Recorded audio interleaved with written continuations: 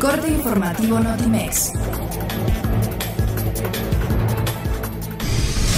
Al inaugurar el pabellón de México en la Feria de Hannover 2018, el presidente Enrique Peña Nieto aseguró que México es un país que se ha transformado y está logrando la conquista de los mercados más exigentes del mundo.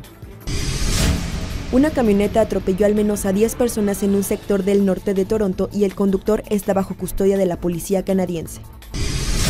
El consejero presidente del Instituto Nacional Electoral, Lorenzo Córdoba Vianello, destacó que más de 11.4 millones de personas mayores de edad vieron el primer debate presidencial, realizado la noche del domingo en la Ciudad de México.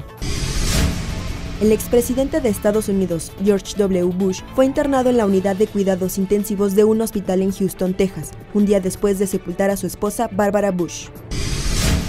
Pese a que aceptó la dificultad que representa enfrentar una Copa del Mundo, el técnico de la selección mexicana de fútbol, el colombiano Juan Carlos Osorio, indicó que la meta para Rusia 2018 es la de llegar hasta las semifinales.